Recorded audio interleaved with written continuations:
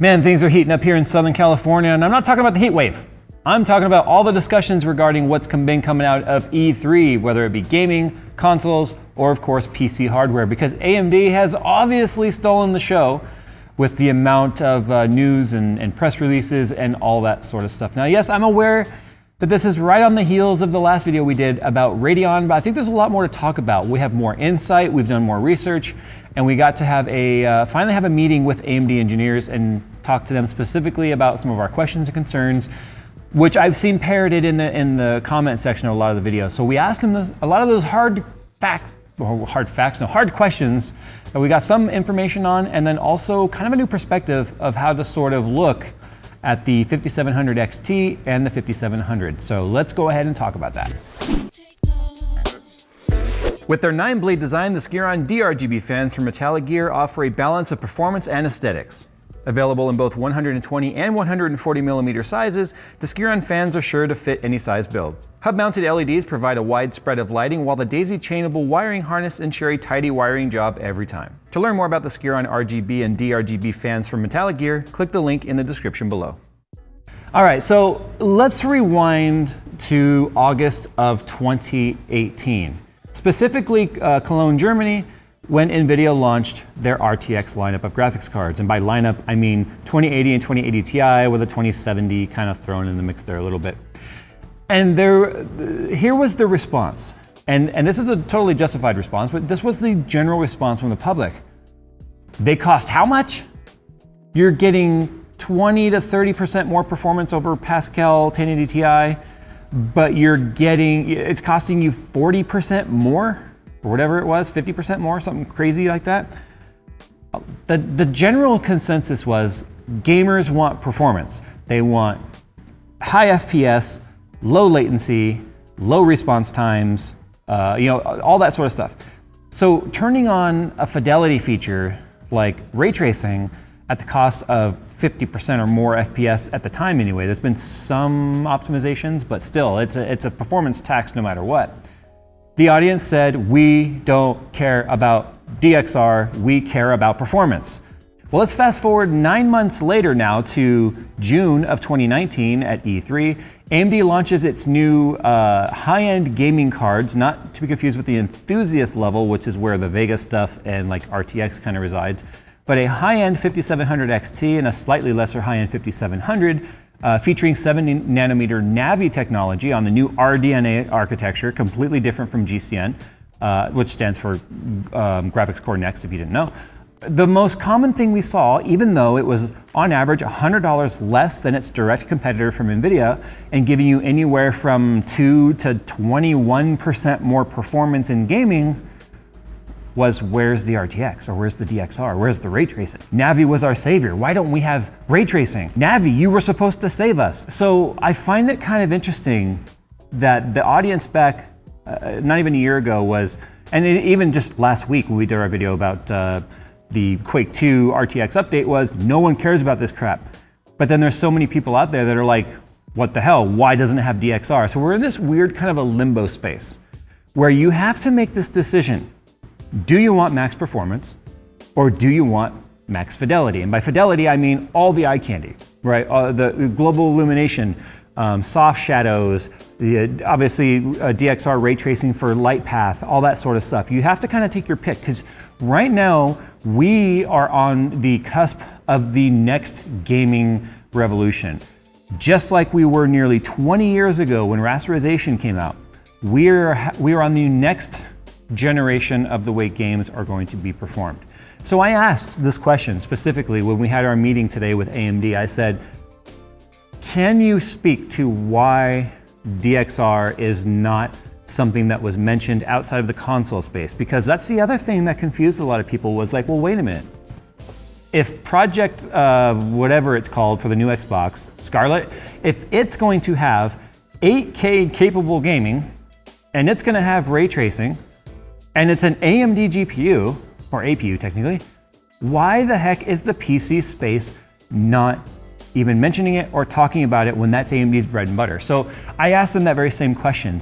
And it, it, the general consensus here, and of course this was a lot of like, not off the record, but this is off the slides at this point because there's this was not a specific forethought conversation that was supposed to be had was that ray tracing does indeed need some um, maturity and not with the architecture which obviously needs to happen I mean, NVIDIA is doing it through uh, tensor cores for DLSS, and that's a super sampling, right? Deep learning super sampling.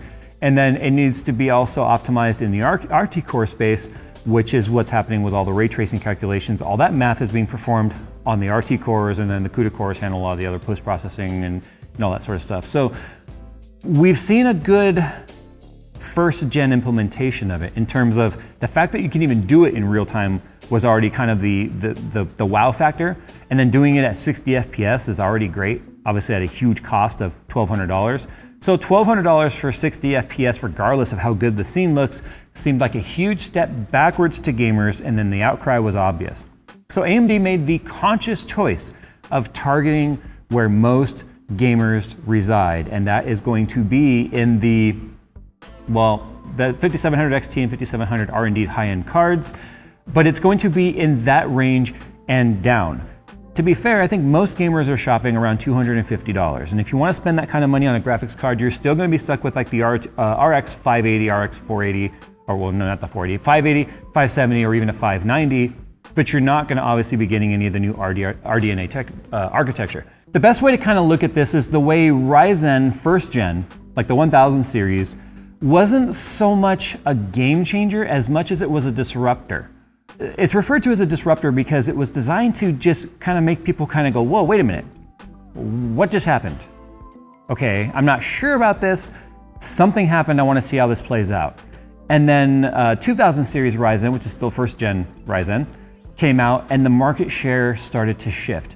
Intel's market share gains stalled, and then AMD gained back CPU market share, although Intel was still the dominant player. AMD gained back market share, and then Zen 2 now giving us the amount of increase we saw in IPC and now beating apparently core for core Intel CPUs at a much lesser price has changed the CPU industry. This is what AMD is banking on RDNA being for graphics. This is first gen Ryzen for graphics cards. You're not going to see the disruption necessarily happening right now, but what you're going to probably see is a lot of people adopt that whole wait and see attitude and as long as AMD can live up to the promises of we are going to be making this as good as possible over the next several generations, and by generations, I don't mean we're talking five year plan, I mean we're talking three year plan probably at this point, then what you'll start to see is a much broader spectrum of competition taking place across the board. But like anything else, you can't get there without launching the initial disruptor in the first place. The other thing that they, the reason why they didn't launch this high-end, God-saving, save, you know, save the gamers Navi architecture, which everyone thought was going to be coming out. Because don't remember a year ago we heard that there was going to be a RTX killing card for $250 from AMD, and that's called Navi. Well, the internet sort of made that up on their own. AMD, you cannot find a single piece of information where AMD even speculated or hinted at any sort of performance for that perform or that dollar range whatsoever. But what AMD has decided is that the raw performance is more important than the eye candy. But at the same time, what they found was more important was that you have backwards compatibility in terms of the toolkits. And because GCN is so matured in terms of being in the console space, in the PC space, in the cloud space, as well as mobile, it was it's easier to implement and get the technology out into the wild by making sure that it's backwards compatible with all of that while featuring forward compatible technologies as developers come online for it. So they adopted what a lot of people said NVIDIA should have done, which is the adopt now and then we promise in six months to a year these features will become available because of the fact that you know it's going to take time for RTX and, and DXR to be implemented by the developers. They decided to build a graphics card on a new architecture because as much as people want to say RDNA is just a rebranded GCN, it's not. It is ground up different. The difference is that it's ground up different with 100% backwards support or backwards compatibility support. So that allows you to have a much broader spectrum of adoption of this particular card in terms of games being designed for it, while also utilizing forward-facing technologies that are only going to be available on the Navi-based architecture that once the adoption rate improves and more Navi cards are out in the wild, then you're gonna see features come online later on in games, whether they're new games or updates to existing games.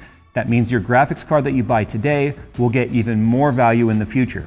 Features that people care about, like uh, Radeon image sharpening, which is gonna be sort of like a DLSS, but it's open source and anyone can use it, including NVIDIA if they want to. It's kind of like the opposite of how Hairworks and, and the um, NVIDIA um, GameWorks was back in the past, although that was a very closed source and developers had to either buy packages or buy particular you know, SDKs and stuff to use those features. It is 100% um, open. You're also going to have uh, Fidelity FX, which is going to be different features that uh, people can, uh, developers can put into their games that are going to be optimized on obviously Navi architecture. So forward compatible stuff or forward technically future proofing that as those features come online, the architecture that was designed with those features in mind are going to be remain much more relevant into the future. Rather than suddenly going, well, I've got to buy a new graphics card now to use all these features. You buy a new graphics card now that gets you an immediate performance bump in the way games are played today on the APIs and the SDKs that are available today, specifically being, you know, obviously DirectX and Vulkan. And then we're going to see an improvement in the future. So that is sort of the strategy behind why AMD launched at the 5700 XT and 5700. Now we tried really hard, trust me, we tried to find out if there was gonna be an RX uh, 5800 XT or a 5600 because I feel like two SKUs on the RDNA family is a good place to start. I'd be shocked if we didn't see uh, uh, the, the stack sort of trickle down a little bit. But I don't think you guys, if you guys are waiting for a 2080 Ti competitor from Navi, I don't think you're gonna see it in this family. I would love, trust me, to see a 2080 Ti rival right now from AMD. But it's clear that the Radeon 7 is the enthusiast card that you get from AMD right now. For more entry-level stuff, I almost feel like we're probably not gonna see anything until a little bit later on, maybe when the new, um, the updated Zen APUs come out featuring Navi. I also asked that question. I was like, can we, we see the 3200 and 3400G featuring Ray, uh, Vega 8. Will we potentially see those uh, utilizing uh, Navi in the future? And of course it was, uh, well, we're talking about this today. We can't talk about anything in the future. And of course, I knew that was gonna be the answer, but I've gotta try, right? I've gotta ask the questions that you guys were all wondering. The whole point of this video, and in fact, if anyone even said, just skip this video and go to this time point, stamp this one. If you are waiting for an NVIDIA killing AMD ray tracing card, this is not it. It's not coming. And you should probably just go ahead and determine which purchase makes sense for you right now, whether you want a $100 more expensive NVIDIA card that can do ray tracing, or a $100 lesser expensive graphics card from AMD that gives you more raw performance than the $100 car card that costs more, or you get your DXR and then the frame rates kind of do that because you know DXR is a huge impact of performance.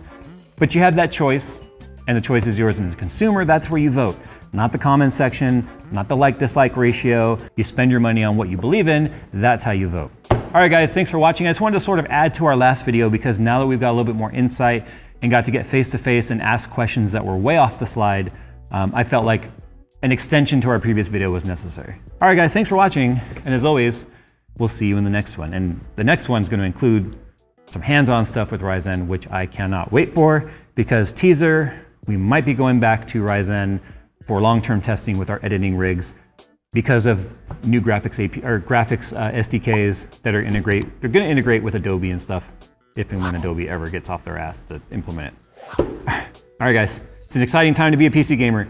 As always, we'll see you in the next one.